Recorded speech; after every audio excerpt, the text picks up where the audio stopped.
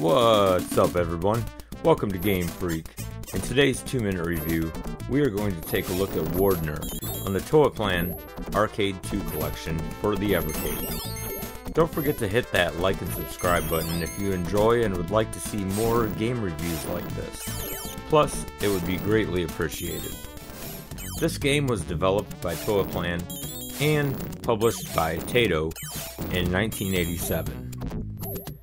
In Wardner, you play as a child named Dover on a journey to rescue his girlfriend Maya from the Warlock. This side scroller has five stages of varying themes set in a fantasy land. Each level is different and unique in its own way.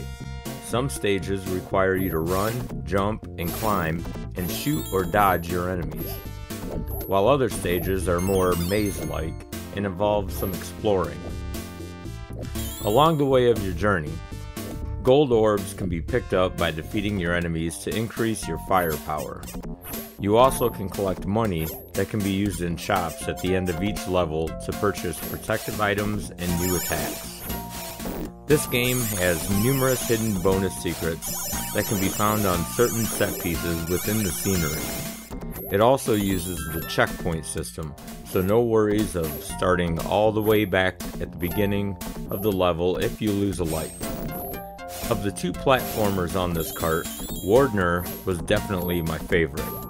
It's a fun, little action adventure game that I will definitely revisit again.